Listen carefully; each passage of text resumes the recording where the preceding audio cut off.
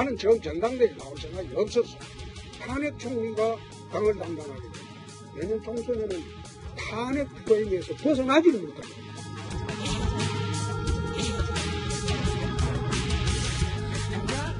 당 지도부를 선출하기 위한 227 전당대회는 2주 이상 연기돼야 한다. 그러지 않을 경우 12일 후보 등록을 하지 않는다.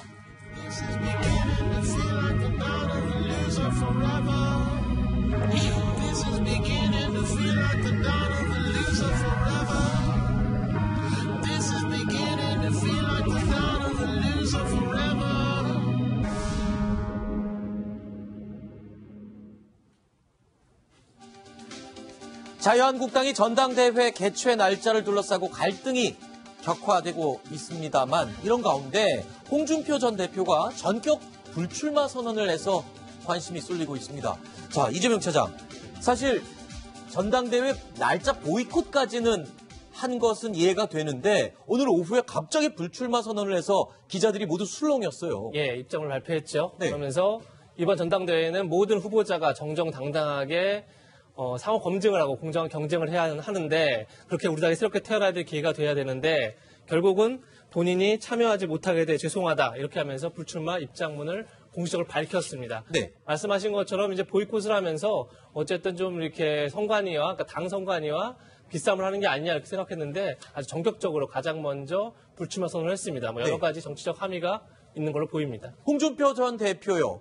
자, 지난달 출마 선언을 할 당시만 해도 대여 투쟁을 아주 강하게 강조하면서 황교안 전 총리를 향해서 각을 날카롭게 세워왔었는데요. 당시의 목소리를 먼저 확인해 보겠습니다. 총선은 대여 투쟁력이 있는 강력한 지도력이 있는 사람이 해야지 나는 전 전당대회에 나올 생각이 없었어. 그런데 정치 경력도 전혀 없으시고 탄핵 총리가 등장하면서 이 당이 탄핵 시즌 2가 될 가능성이 생겼고요. 신인이 나오니까 프레시하죠. 그쪽으로 몰리니까 이게 이상한 방향으로 흘러간다. 홍 전 대표가 이 불출마 선언을 한 것이 단순히 전당대회 날짜 때문이었을까요? 일각에서는 눈치 빠르고 정치 고단수인 홍준표 전 대표가 뭔가 황교안 전 총리보다 좀 밀리는 것을 미리 예측을 다 한 게 아니냐 이런 얘기가 있어요. 그런 측면이 많아 보입니다. 그래요? 그래서 치고 빠지기가 아닌가 이렇게 아하. 볼 수도 있는데요. 일단 어, 본인이 전당대에 들어온다고 밝히면서 굉장히 판을 키웠죠. 거기에 네. 성과가 있었고 여론의 주목도 받았고요. 하지만 뭐 여러 차례 얘기했지만 판세는 많이 기울었다는 게 사실은 원내 분석입니다. 그러니까 아하. 당원들의 평가는 어떨지 모르겠지만 실제 원내 의원들의 전체 지형만 봤을 때만 보- 보면 굉장히 많이 기울어진 운동장이다 이렇게 볼 수 있는 상황이 됐죠. 네. 이런 상황에서 홍 전 대표가 의미 있는 패배를 하기도 쉽지 않다고 봤을 때 굳이 패배 선택할 이유는 없었다. 아하. 그렇게, 그렇게 되면 결국은 이제 뭐 4월 재보궐, 재보궐 선거가 있겠고요. 연말 지나면서 내년 총선 앞에 다가오면 새로운 다시 어, 당대표가 필요하다 이런 여론이 만들 수 있다고 본 것 같습니다. 네. 그래서 원내에서도 이제 황교안 전 총리를 지지하는 많은 이제 원내 인사들 얘기를 들어보면 굳이 뭐 친박이어서 이런 것보다는 좀 지금은 새로운 인물이 필요한 게 아니냐. 이미 홍준표 대표가 대표를 했었고 여러 이제 오세훈 전 시장도 뭐 사실 새로운 인물을 할 수는 없는 거죠. 그런 점에서 새로운 인물로 연말까지 대여 투쟁을 해본 다음에 그래도 안 되면 새 인물 교체할 수 있다. 그럴 시간 충분하다. 이런 판단해서 황교안 전 총리 쪽으로 많이 쏠려 있기 때문에 어떻게 보면 홍준표 전 대표는 지금이 아니라 다음을 그렇게 노리는 게 아닌가 이런 생각도 듭니다. 네. 사실 이제 이런 전당대회에 나서는 후보들한테 이야기를 들어보면 네. 일단 이렇게 지역에 내려서 대의원들 악수를 해보면 느낌이 온답니다. 아, 네, 대의원들과 일단 이 악수의 강도가 얼마나 센가를 보면 네. 아 이게 이번에 될 것 같다 이번에 네. 안될 것 같다는 느낌이 온다는 거거든요. 네. 이제 아마 홍준표 전 대표는 사실은 조직이 없습니다 당내에서 왜냐하면 본인이 사실은 개파를 하지 않겠다고 선언했기 때문에 뭐 지역을 이렇게 순회를 하지만 예전 같지 않은 느낌을 느꼈을 거예요. 네. 아마 그런 상황에서 본인이 승리할 가능성이 없는 상황에서 들러리는 설- 서기에는 굉장히 어렵다. 왜냐하면 네. 들러리 서서 떨어질 경우에 다 본인이 정말 이제 목표로 하고 있는 대권 도전도 상당히 힘들어지는 거 아니겠습니까? 네. 그러니까 그 판단을 한 것 같고 아하. 그 판단에서 사실 전당대회 연기 문제가 굉장히 좋은 기회가 됐죠. 어떤 면에서 보면 아하. 이런 핑계가 될 수 있는 상황이고 또 하나는 이런 상황에서 만약에 어, 황교안 전 총리가 만약 당 대표가 된다 하더라도 네. 오래 가지는 못할 것이다. 이런 판단을 좀 한 것 같아요. 왜요? 현재 당내 상황을 보면 네. 이 정치 초년병인 황 전 총리가 이 당내 복잡한 상황을 아. 정리하기가 굉장히 힘들 것이고 네. 어차피 내년 총선에서 어떤 뭐 재신임을 받는다고 한다면 충분히 자기한테도 가능성이 않겠는가? 올다. 외곽에서 충분히 했던 세를 네. 형성하고 있다라고 한다면 충분히 다시금 등장할 수 있는 가능성이 있다. 아마 그거를 엿보는 것이 아닐까 싶습니다. 정말 복잡한 계산들을 정치인들은 하고 있군요. 자, 한국당은요. 홍 전 대표의 불출마 선언에도 불구하고 그리고 다른 후보들의 지금 보이콧에서 불코데, 보이콧에도 불구하고 전당대회 일정 변경은 절대 불가능하다라는 방침을 재확인했습니다.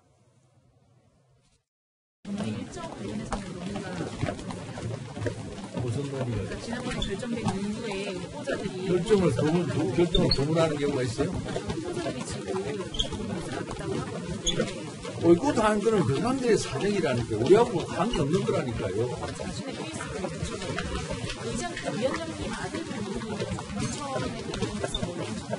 그런 얘기를 누가 했다면 그건 양아치입니다. 양아치 수준이에요. 자, 양재열 변호사님, 갑자기 양아치 얘기는 왜 나온 겁니까?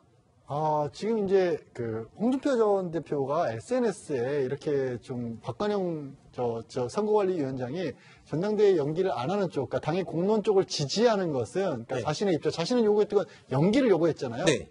그렇게 해주는 게 아무래도 어, 박 위원장의 아들이 네. 이 출마를 계획하고 있는데 공천을 받기 위해서 조금 더 유리하게 당의 당의 입장, 아. 지도부의 입장을 따른 게 아니냐라는 식의 어떤 추론을 올리셨는데 네. 굉장히 격분하고 계시죠. 사실 그렇죠. 격분하실 만하죠. 그 얘기는 뭐 근거 없이 만약에 그런 얘기를 한 거라면 정말 저렇게 얘기하실 만하죠. 일단은 박관용 한국당 선관위원장은 절대 결정을 누가 두 번 하느냐 한 번 했으면 변함이 없다 이렇게 얘기를 확실히 한 거죠. 저는 일단 이 선거를 연기하는 것은 뭐 옳다, 옳지 않다고 봅니다. 네. 그러니까 뭐냐면 전당대회가 야, 제일 야당에서 한번 정해진 날짜가 있다라면 좀 참여를 해야죠. 근데 현실적으로 보면 지금 일단 황교안 그다음에 김진태 두 후보를 제외하고 나머지는 참가를 안 하겠다고 하고 있죠. 그렇죠. 자 그러면 지금 어차피 강행을 하게 될 경우에 그럼 두 사람만 갖고 이제 전당대회를 칠 거 아니에요? 네. 근데 전당대회라는 게 뭡니까? 결국은 당의 권력을 누구한테 줄 것이냐 결정하는 거 아니겠습니까? 그렇죠. 자, 그런데 두 사람만 참여해서 하는 전당대회가 과연 의미가 있을까요? 네. 이분들도 다 정치를 하시는 분입니다. 물론 모든 것들이 원칙대로 하는 게 좋죠. 그렇지만 네. 최소한 당의 어떤 새롭게 비대위가 그동안 있어 왔고 당이 어려움이 있었는데 뭔가 당이 새롭게 출발한다고 한다면 모든 사람들이 참여하는 속에서 이루어지는 전당대회가 그 사람한테 좋은 거 아니겠습니까? 네. 저는 이 시점에서 황교안 전 총리도 굉장히 좀 아쉬운 게 있는 게 만약에 황전 총리가 본인이 혼자 나가서 당선되면 누가 인정을 해주겠습니까? 아하. 당내에서? 네. 그러면 본인이 예를 들어서 이 문제에 관련해서는 좀 더 유연성을 보였더라면 좀 더 얻을 게 많을 텐데 저는 굉장히 좀 정책 판단 자체가 조금 지금 상황에서는 조금 아쉬운 감이 있습니다. 자, 이처럼 한국당 당권 주자들의 보이콧 선언으로 반쪽 전당대회로 전락할 위기에 처하자 당 내에서도요 보이콧 후보들을 성토하는 목소리가 이어지고 있습니다. 10% 초반대에서 지금은 30% 진입을 역전에 되었습니다. 국민들 사이에서 다시 옛날로 돌아가는 게 아니냐는 우려의 목소리가 나옵니다. 언론 일각에서는 치킨 게임, 또 벼랑 끝 전술, 시계 제로라는 표현까지 이렇게 등장을 했습니다. 정말 보이콧해서 누가 득이 되겠습니까? 지금 이를 부정하고 뒤집을 더 큰 이유와 명분이 없습니다. 만에 하나 보이콧을 한다 하면 아마 비대위원장님께서는 큰 결단을 하셔야 될 거라고 저는 생각을 합니다. 김태호 변호사님. 네. 이런 분위기와 논란이 계속 이어가다 보면 국민들의 기대에 부응할 수 있는 기회는 영영 놓쳐버릴 것 같아요. 막판에 좀 타협을 할 가능성은 안 보입니까?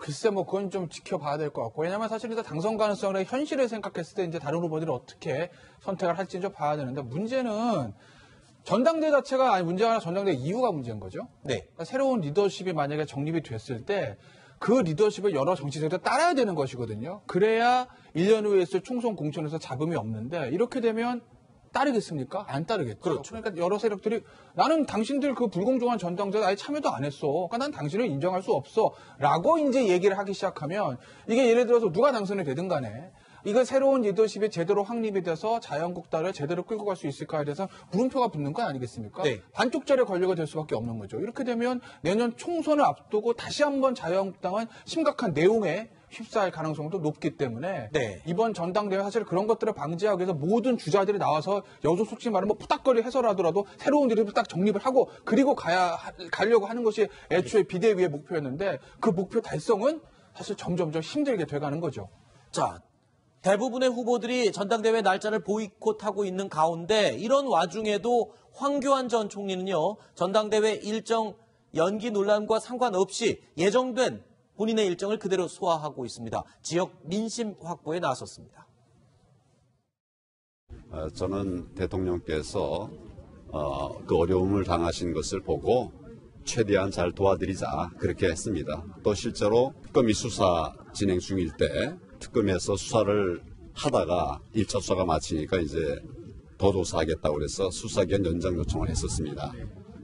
어, 그때 제가 볼 때는 수사가 다 끝났다. 그러니까 이, 이- 이 정도에서 끝내자라고 해서 수사기간 연장을 불허했습니다. 자, 바로 이 사진을 보겠습니다. 부산 자가치 시장을 방문한 황교안 전 총리의 모습, 오늘 오후 부산을 찾은 모습인데요. 아무래도 그만큼 부산이 중요하기 때문에 저쪽으로 제일 먼저 달려갔겠죠. 일단 뭐 황교안 전 총리는 일단 당 방침에 따르겠다라고 네. 하면서 지금 행보를 계속하고 있는 상황이지 않습니까? 어, 그렇게 되면 이제 뭐 내일 일단 후보 등록입니다. 네. 네. 후보 등록을 하지 않으면 일단은 전당대회는 후보 등록 한 사람만으로 이제 치러지게 돼 있죠. 이제 그런 상황에서 이제 어제는 사실은 이제 저 구미를 찾아서 박근혜 전 아, 박정희 대통령의 이제 생가를 방문했는데 저는 좀 아쉬움이 드는 게 뭐냐면 지금 최근에 이제 유영하 변호사가 여러 가지 이제 박심 논란을 제기를 했지 않습니까? 자 그렇다면 박 그 황교안 전 총리가 가지고 있는 박근혜 전 대통령에 대한 생각은 뭔지 저는 사실 이 박근혜 전 대통령 문제가 자유한국당이 정말 미래로 가느냐 어, 현실에 잡혀 있느냐를 결정하는 굉장히 중요한 문제라고 보거든요. 네.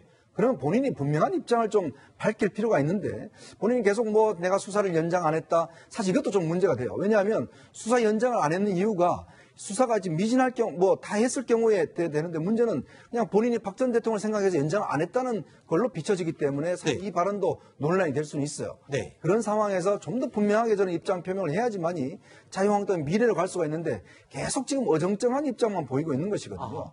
그런 면에 비춰봤을 때 앞으로 이 문제가 자유한국당 내에서 굉장히 논란이 될 수가 있고 또 하나 해결되지 못하는 문제로 남아있을 가능성이 있습니다. 최근에 유영하 변호사가 박근혜 전 대통령의 뜻이다라고 하면서 황교안 전 총리를 향해서 배신자 이미지를 씌웠잖아요. 그랬는데 그거에도 불구하고 황교안 전 총리는 그냥 자신의 뜻대로 가겠다. 지금 이런 행보를 보이고 있는 것 같아요. 사실 유영하 변호사의 그 뜻, 지금 한국당 내부에서도 진짜 박근혜 전 대통령의 뜻이 맞느냐 이런 의심도 나오고 있다면서요. 그걸 누가 알겠어요? 아무도 모르죠. 그걸 박근혜 전 대통령 만날 수 있는 사람 없는 데고 박전 대통령 유일하게 유영하 변호사 아, 혼자잖아요. 그렇죠. 그러니까 예 를 들면 진짜 뭐 박정 대통령 지금 기- 예전에 예를 들면 저 재임 기간에 눈과 귀를 붙잡고 있는 사람이 문고리 3인방이다.